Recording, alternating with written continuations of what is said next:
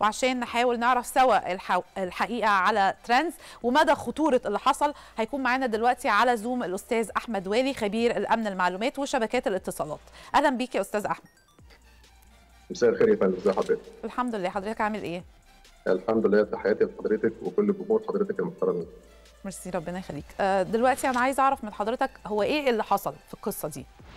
اللي حصل ببساطة إن كل شركات التواصل الاجتماعي أو كل المنصات آه، كل فترة بتعمل زي مسح كده أو scan لكل المشتركين اللي عندها عشان تضمن إن المشتركين اللي عندها مشتركين حقيقيين وليسوا مشتركين وهميين.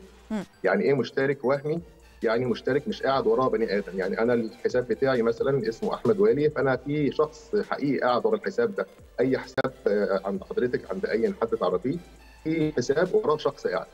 الحساب الوهمي هو حساب وراه برنامج كمبيوتر مش وراه إنسان حقيقي. مم. شركات التواصل الاجتماعي عايزة تضمن إن كل حساب وراه إنسان حقيقي مش وراه إنسان آلي أو وراه أو حسابات برنامج وهمية. كمبيوتر هو اللي بيشغله بالظبط فده ده تعريف الحساب الوهمي ليه؟ لأن هم عايزين شركة المنصات دي بتعتمد على الإعلانات زي ما حضرتك عارفة في إنها تكسب فلوس فعايزة تضمن الإعلانات لما توصل للحسابات توصل لأشخاص حقيقية يشوفوا الإعلان ما يبقاش إنسان آلي أو برنامج هو اللي بيشوف الإعلان فبالتالي الإعلان مش هيبقى له أي قيمة فقيمة الإعلانات هتقل فالمعلنين هيبطلوا يعلنوا عند فيسبوك أو شركات التواصل. فاللي حصل إن هم كل فترة بيعملوا مسح كده ببرنامج معين يشغلوه فيقدروا يكتشفوا بيه ال- ال- الحسابات الوهمية دي. اللي حصل وعلى فكرة الرقم المليار و600 مليون ده ده رقم يعني مش كبير ده بيتكرر كل كوارتر أو كل ثلاث شهور بيعملوا المسحة دي. فكل ثلاث شهور تقريبا بيشيلوا مليار مشترك وهمي.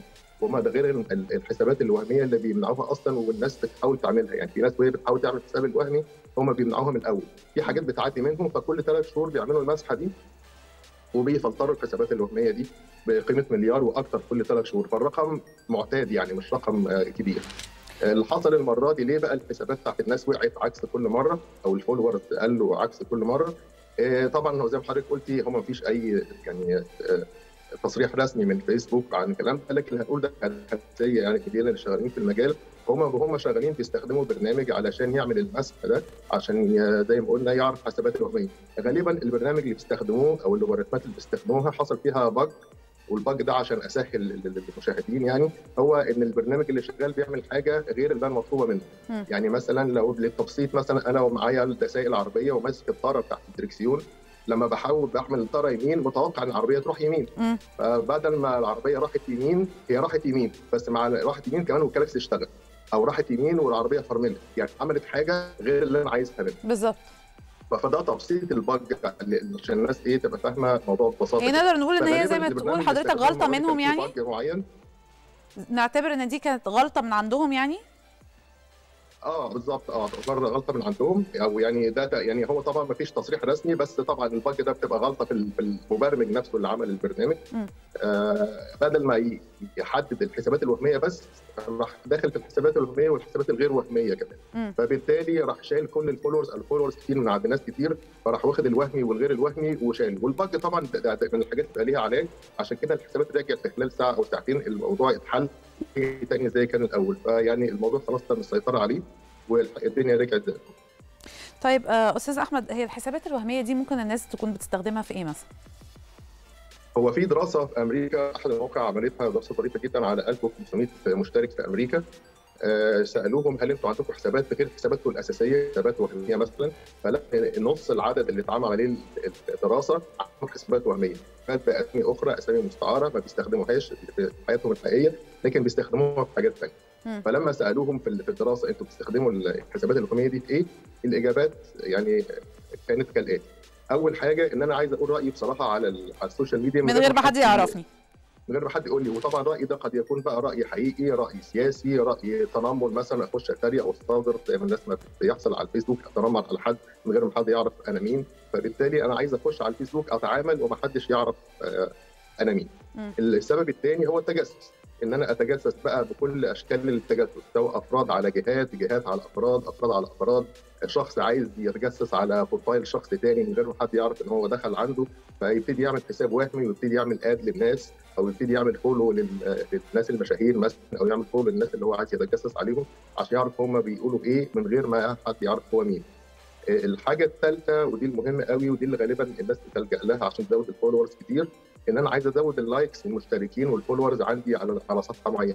ففي اقعد اعمل حسابات وهمية ومن الحسابات الوهمية دي اعمل likes و follow للصفحات بتاعتي علشان آه. ازود عدد المتابعين وفي ناس محترفة في الموضوع ده يعني مم. في ناس شركات متخصصة إنها تعمل بالآلاف وبالملايين الحسابات دي وتبيعها للي عايز يعني كمان بيكونوا شركات يا أستاذ. أحمد مش بس أفراد آه آه في ناس متخصصة يعني في مواقع على الإنترنت ممكن أقول لهم أقول لهم أنا عايز أشتري منكم مثلا آه، مليون follower مثلا يقول لي okay. مليون follower دي ثمنها كذا فهو عنده هو بي- بيعمل حسابات وهمية علشان يبيع لي ال follower دول. طبعا طبعا مشكلة الموضوع ده إن بيحصل المسح ده كل ده بيروح وما بيظهرش غير الحسابات الحقيقية بس ال- الحاجة بعد كده اللي هو قالوا إن الحساب الوهمي ممكن يستخدمه طبعا في الخداع والنصب واحتيال شخص تاني. يعني ممكن واحد مشهور يلاقي الحساب على الفيسبوك وهو ما يعرفش عنه حاجة وناس بتتكلم بلسانه. في ناس بتاخد الموضوع ده على إنه تهريج في ناس بتستخدمه للنصب على ناس تانية. ف... فيعني دي دي الآراء اللي هي يعني اختصروا فيها ليه بيعملوا حسابات وهمية. طيب إزاي نقدر نحمي حساباتنا وأعداد المتابعين بتوعنا عشان ما يحصلش اللي حصل ده تاني؟ هو مبدئيا اللي عنده متابعين حقيقيين ما يقلقش لأن المسح ده بيشيل المتابعين اللي مش حقيقيين. فأي حد بيحصل على متابعين بشكل غير يعني غير قانوني أو illegal يعني ده ده اللي يقلق. هو ده اللي بي- بي- بيجري عليه عملية المسح. لكن غير كده اللي عنده حسابات حقيقية ما يقلقش. لكن ممكن ناخد السؤال ده شق زي زي احمي حسابي بصفة عامة. زي احمي حسابي ما حدش يخترق وحد يخش بقى يأذيني في الحساب بتاعي دايما بقول عايز تحمي الحساب بتاعك في شوية عوامل كده. أول حاجة ما تعتمدش على ال username وال password بتاعك فقط. حاجة اسمها two factor authentication يعني بعد ما تدخل ال username وال password بتوعك. خلي دايما ال- المنصة تبعت لك رسالة على الموبايل أو على الميل تتأكد إن أنت صاحب ال- ال- الحساب ده. لأن ال password لو حد اخترقها ده هيبقى ليك خط دفاع تاني.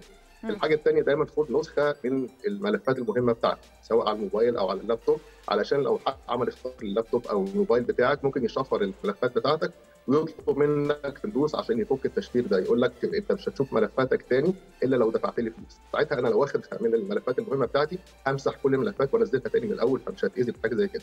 ما تفتحش أي link أو صورة جاية لك من مصدر مجهول طبعا. ده مهم جدا.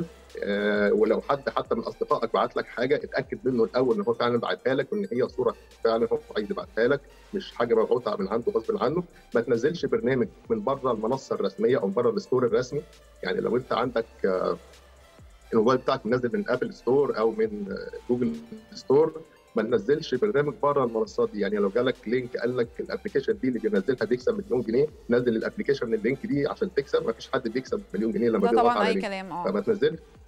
فما تنزلش برنامج ما من بره ال store الرسمي آخر حاجة لو في updates على الموبايل آه نزلها على طول. يعني أي الموبايل لما يقول لك في update جديدة لل software الموبايل أو update لل application على طول نزلها ما تأخرش إن دي بتقفل الثغرات الأمنية اول باول آه. إحنا في ناس أنا واحدة منهم عايزة أقول لحضرتك إن أنا بستنى لحد آخر لحظة بفتكر إن كده أنا يعني كده أنا شاطرة يعني. لا لا لا لا لا, لا أول بأول على طول عشان دي بتقفل ثغرات وبتقفل ال bugات ال bugs اللي هي قلنا عليها في الأول دي اللي هي خلل في الأداء يعني. okay. طيب لو الموضوع كان فعلا قرصنه آه، هل في طريقة إن إحنا نحمي نفسنا نفسنا منه خصوصا إن إن في ناس عندها حسابات فيها متابعين بالملايين؟ هو اللي حصل ده يعني خلينا نتفق إن شركة فيسبوك عندها دفاعات أمنية قوية جدا. يعني شركة بحجم الفيسبوك دي لازم يكون عندها خط أول وثاني وثالث ورابع في الدفاع عن المعلومات والبيانات اللي عندها. فمش من السهل إن حد يخترق الفيسبوك. وإن كان حصل قبل كده. لكن الهاكر اللي هيخترق الفيسبوك ده لازم يكون هاكر قوي جدا ومتمكن جدا. فإن هو يخترق كل دفاعات الفيسبوك ويبقى عنده القوة والعلم إنه يخترق دفاعات فيسبوك وبعد ما يخش يعمل بس تغيير في عدد ال followers يعني ال- النتيجة مش يعني مش متماشية مع قوة الهاكر. فأنا مستبعد إن هي آه، تكون قرصنه أصلا لأنه. لو قرصان قوي بالقوة دي مش هيخش يعمل التغيير البسيط هيخش يعمل كارثة أكبر من كده. أكتر. فكون إن هو وصل لغاية جوه ما أظنش إن دي قرصنه لكن إحنا بقى على حساباتنا إحنا أنا زي ما قلت لحضرتك من شوية ال- الحاجات اللي قلتها من شوية دي هتقلل احتمالية إن حد يأذينا. طبعا. وطول ما إحنا عندنا حسابات حقيقية مش وهمية ما نقلقش.